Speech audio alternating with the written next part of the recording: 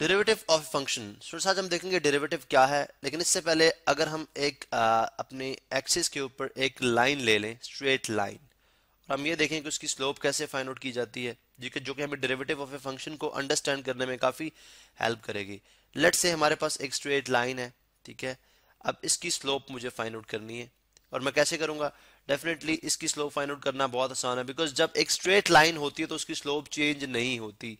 क्योंकि straight line पे slope एक जैसी रहती है, इसी वजह से वो स्ट्रेट लाइन है। जहाँ पे स्लोप चेंज होती है, वहाँ पे लाइन जो है वो कर्व में बनती है वहाँ पे लाइन की डायरेक्शन चेंज होती है तो वो एक कर्व बनती है, ठीक है? अब ये जिस, ये बात इंश्योर है इंश्योर करती है हमें स्ट्रेट लाइन के, इस लाइन के ऊपर हर एक पॉइंट पे स्लोप जो है वो सेम है। अब स्लोप क्या है और ग्रेडियंट क्या है? स्लोप बेसिकली स्लोप और और ग्रेडियंट और ग्रेडियंट ये बेसिकली हम यूँ देखते हैं कि अगर हम अगर हम एक यूनिट चेंज लेके आए एक्स के अंदर तो उसके केस में वाई के अंदर कितना चेंज आएगा, ठीक है? यानी change in Y with respect to change in X ठीक है? अब एक्स के लॉन्ग फॉर एग्ज़ाम्पल अगर आप कहते हैं जी, अगर हम एक्स के लॉन्ग एक यूनिट चेंज लेके आते हैं, ठीक है? तो उस केस में y के अलोंग कितना चेंज आएगा। ठीक है? तो ये बेसिकली हमारे पास कल आएगी स्लोप और ग्रेडियंट ठीक है? अब इस स्लोप और इस स्लोप को या इस इस लाइन की ग्रेडियंट को फाइंड आउट करने के लिए हमारे पास क्या मेथड है कि हम जस्ट दो, कोई से भी दो पॉइंट्स कोई से भी दो पॉइंट्स ले लें आप इस लाइन के ऊपर। फॉर एग्जांपल एक पॉइंट आपने ये ले लिया, एक पॉइंट आपने ये ले लिया। अब लेट से ये जो पॉइंट है this is point this point is at distance ये पॉइंट जो है, ठीक है? और एक आपके पास ये पॉइंट है, ठीक है? लेट से ये पॉइंट जो है वो डिस्टेंस ए के ऊपर है, ये पॉइंट जो है वो डिस्टेंस बी के ऊपर है, ठीक है? अब याद रहे कि डिस्टेंस ए जो है वो यहाँ से लेके ओरिजिन से हम मेर कर रहे हैं, ठीक है? यहाँ से लेके यहाँ तक है और डिस्टेंस बी जो है वो यहाँ से लेके यहाँ तक है। इसी तरह से y अगर आप देखें तो y का ये डिस्टेंस अगर अगर देखें ये फ़ंक्शन हो let say y is equal to F of X Y is equal to F of X ये लाइन जो है वो एक फ़ंक्शन है definitely y is equal to F of X तो इसका मतलब है फिर अगर x जो है वो a होगा तो y कितना होगा? F of A F of A इसी तरह जब x जो है वो b होगा, ठीक है? इस केस में देखें, x जब b होगा तो y कितना होगा इसके लिए? एफ़ ऑफ़ b, ठीक है? इसका मतलब है, अब एफ़ ऑफ़ ए कितना है? एफ़ ऑफ़ ए ये डिस्टेंस है एंड एफ़ ऑफ़ बी जो है वो ये डिस्टेंस है ओरिजिन से, ठीक है? सॉरी थोड़ा सा मैंने नीचे बना दिया। एफ़ ऑफ़ ए जो है वो ये डिस्टेंस है, और एफ़ ऑफ़ बी जो है आपका ये डिस्टेंस है ओरिजिन से ठीक है? अब हमने फाइंड आउट करना है अब हमने फाइंड आउट करना है change in X and change in Y जिससे जिसके थ्रू हम स्लो फाइंड आउट करेंगे।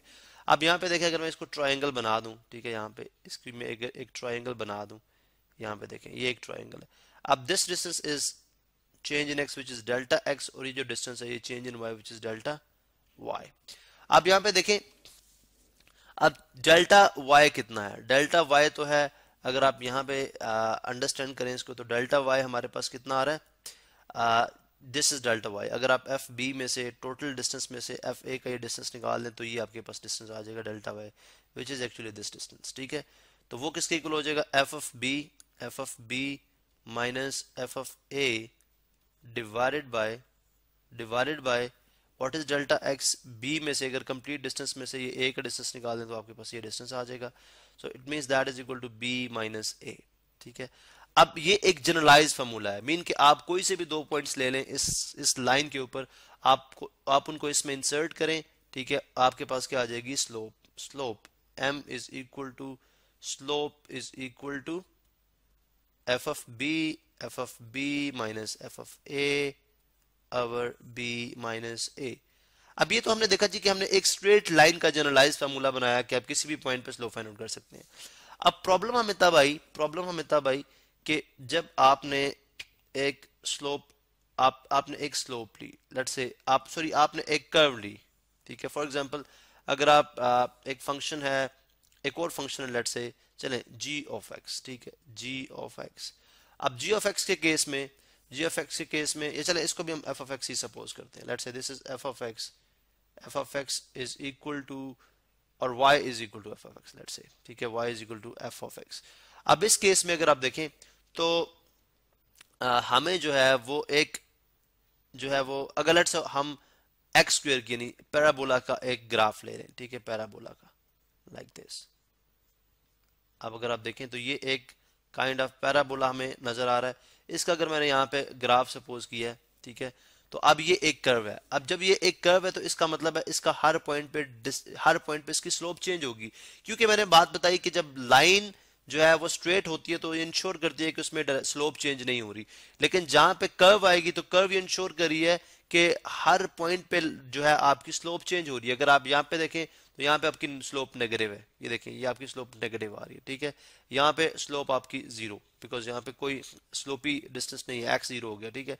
यहाँ पे अगर आप देखें तो स्लोप आपकी जो है वो यू नो नम पॉजिटिव है, लेकिन स्मॉलर है। यहाँ पे स्लोप और ज़्यादा हो गई, और इसी तरह से जैसे आगे मूव करते जाएँगे, स्लोप जो है वो इंक्रीज करती जाएगी, ठीक है? यहाँ पे अगर आप देखें तो ये स्लोप जो है वो यहाँ पे चेंज आ रहा है यहाँ पे। हर पॉइंट पे स्लोप पे चेंज आ रहा है। अब क्या हम इसके लिए जनरलाइज फार्मूला निकाल सकते हैं? ठीक है? अब इस चीज़ को अंडरस्टैंड करने के लिए हम जो है वो डेरिवेटिव का सहारा लेते हैं। लेट से अगर मैं यहाँ पे बात करूँ कि जब हम एक ऐसा यानी डेरिवेटिव ऑफ़ ए फ़ंक्शन क्या है? ऐसा प्रोसेस यानी ऐसा तरीका जिसके थ्रू आप एक स्लो ए, आप एक कर्व एक कर्व की स्लोप फाइंड आउट करने का जनरलाइज फार्मूला डिराइव करते हैं that is called derivative of a function अब वो कैसे करेंगे? इसको अंडरस्टैंड करने के लिए लेट से यहाँ से अगर मैं इसी कर्व को कॉपी कर लूँ, ठीक है, इसी कर्व को अगर मैं यहाँ से कॉपी कर लूँ, चले तेज ठीक है, और इसको भी हम यहाँ पे लेके आते हैं। और अभी हम देखेंगे कि हम इसको किस तरह से फाइंड आउट करेंगे। अब इसको अंडरस्टैंड करने के लिए देखें, सबसे पहला जो हमें काम करना पड़ेगा, वो डेफिनेटली हम सपोज़ करते हैं लेट से अगर मुझे point you know this point which is चले, बल्कि हम ये पॉइंट लेते हैं, ये पॉइंट है जो कि at least one one distance पे एग्जिस्ट करता है, यानी ए पॉइंट है दिस पॉइंट ए जो कि वन वन पे लाई करता है, ठीक है? हमें लिखने की ज़रूरत है सच है भी नहीं, ठीक है? चलिए इस एक्स को हम रिमूव कर देते हैं। अच्छा अभी हम जब इस इस पॉइंट के ऊपर स्लो फाइंड आउट करना चाह रहे हैं, ठीक है? तो उसका तरीका क्या है? उसका तरीका क्या है कि यहाँ पे हम एक टेंजेंट ड्रॉ करें, ठीक है? जब हम यहाँ पे टेंजेंट ड्रॉ करेंगे टेंजेंट बेसिकली एक ऐसी लाइन है जो इस कर्व को एक सिंगल पॉइंट पे टच करेगी। ठीक है, जैसे ये एक टेंजेंट है। अब हमें पता है, अगर हम इस टेंजेंट की स्लोप फाइंड आउट कर लें, इस टेंजेंट की स्लोप फाइंड आउट कर लें तो वो वो इस वो बेसिकली स्लोप होगी इस कर्व के ऊपर इस पॉइंट की। ठीक है? क्योंकि हमने देखा था कि एक लाइन की स्लोप जो है वो सेम रहती है। जैसे कि हमने ऊपर बताया कि लाइन की स्लोप हर जगह पे सेम हर पॉइंट पे सेम होती है। तो इसका मतलब अगर आप इस पॉइंट पे स्लोप फाइंड आउट करना चाह रहे हैं, यहाँ पे आप टेंजेंट ड्रॉ करें। टेंजेंट बेसिकली है कि फॉर एग्जांपल अगर एक बॉडी एम से मूव करती हुई आ रही है और ए से वो अपना डिस्टेंस चेंज अपनी डायरेक्शन चेंज नहीं करती तो डेफिनेटली वो सीधी चली जाएगी। तो जो सीधी लाइन होगी, जो कि इस कर्व को एक सिंगल पॉइंट पर टच करेगी, ये टेंजेंट कहलाता है। ठीक है? अब अगर आपने इसकी स्लोप फाइंड आउट करनी है तो डेफिनेटली इसका वही तरीका है जो हमने ऊपर एक्सप्लेन किया था कि F of F of B, कोई से भी दो पॉइंट ले लें इस लाइन पे, F of B minus F of A over B minus A तो ये इसकी स्लोप आ जाएगी, ठीक है? इसकी स्लोप आ जाएगी। लेकिन प्रॉब्लम ये है कि क्या हम इस इस कर्व के ऊपर हर पॉइंट पे स्लोप फाइंड आउट करने के लिए हर एक पॉइंट पे टेंजेंट ड्रॉ करेंगे, जो कि एक बहुत रिग्रेस किस्म का काम है, बहुत मुश्किल काम है, ठीक है? अब इस प्रॉब्लम को कैसे सॉल्व किया जाए? यानी हम यूँ चाहते हैं कि हमारे पास इस कर्व को इस कर्व की स्लोप फाइंड आउट करने का एक जनरल फार्मूला आए जो कि हम उसके फ़ंक्शन से डिराइव करें, ताकि अब किसी भी पॉइंट पे स्लो फाइंड आउट करनी हो तो आप बड़े आराम से कर सकें। हम हर पॉइंट पे टेंजेंट ड्रॉ नहीं कर सकते, ठीक है? बिकॉज़ जब ये टेंजेंट ड्रॉ करेंगे तो डेफिनेटली ये टेंजेंट शो करेगा कि सिर्फ़ इस पॉइंट के ऊपर स्लोप जो है, वो इतनी है। जैसे आप नेक्स्ट पॉइंट पे फॉर एग्जांपल अगर आप इस पॉइंट पे आएँगे तो स्लोप डेफिनेटली चेंज हो जाएगी।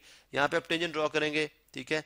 तो यहाँ पे आप दो पॉइंट्स लेके इस पॉइंट पे तो स्लोप फाइंड आउट कर लेंगे, लेकिन वो एप्लीकेबल इस पॉइंट के लिए नहीं होगी। तो इसका मतलब है हर पॉइंट पे स्लोप डिफरेंट होने की वजह से हमें इसका जनरलाइज फॉर्मूला ड्राइव करना पड़ेगा, ठीक है?